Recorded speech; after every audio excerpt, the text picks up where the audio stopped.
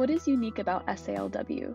When we think about the use of weapons on a global scale, our minds might first jump to images such as these. And though weapons of mass destruction are without a doubt incredibly lethal, the ones that can fit into pockets must equally require our attention. SALW, which stands for Small Arms and Light Weapons, or any weapon that can be used by one person, are particularly dangerous not in spite of, but because of their size. The compact scale of these arms places the possibility of violence directly in the hands of the individual. The ease of obtainment, coupled with the ease of operation, makes for a deadly and widespread crisis.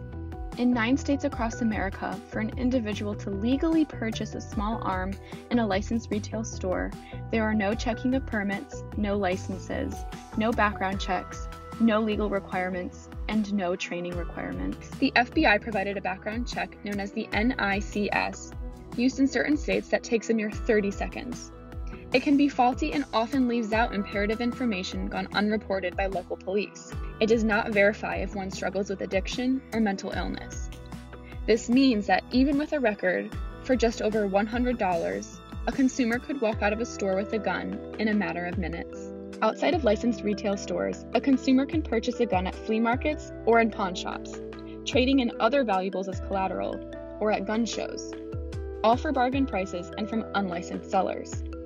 In addition to this, a consumer can trade through the underground market, be gifted a small arm from a friend or relative, steal, or more commonly straw purchase, and sidestep the background check by having another eligible person purchase the gun for them at the licensed retail store. Small arms and light weapons are inexpensive. They are easy to acquire legally and illegally. They are easy to find, easy to buy, and easy to hide. In 13 states, individuals can carry concealed weapons in public without a license or permit.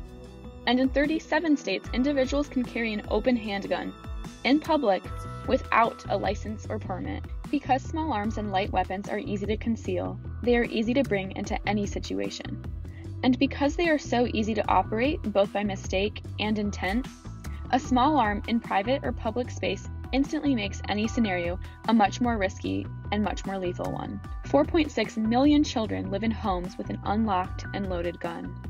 While accidental shootings make up for just 1.3% of total gun related deaths, they are most common amongst individuals 25 years or younger. Out of the yearly 36,383 gun related deaths in America, Children account for 1,500 of these. When small arms become involved in any activity, whether that is domestic abuse, random or organized crime, militia groups, or domestic and foreign terrorism, violence increases and becomes more severe. For example, in the United States, women are 21 times more likely to be killed with a gun than in other high income countries where guns are far fewer. Also, when small arms are implicated in domestic abuse, women become five times more likely to be killed by the abuser. And in the United States, for every 100 people, there are 120 guns. If we want to protect lives and build a safer and more peaceful world, we will need to regulate SALW at every stage of their life cycle.